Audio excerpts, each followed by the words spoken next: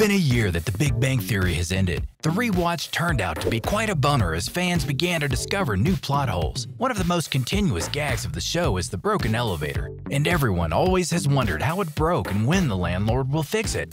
Fans did get an explanation over how it broke when Leonard told the story of how he ended up with the wicked and wacko Sheldon.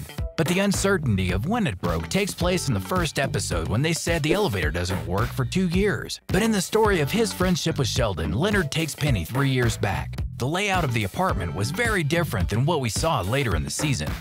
We always get a view of the kitchen every time Penny opens the door, but there was no sign of it in the picture. Penny decided to do a ceremony with her friends and family in the first episode of season 10. We got to see everyone at the wedding. However, we didn't see Penny's sister, Lisa, whom Penny had mentioned before.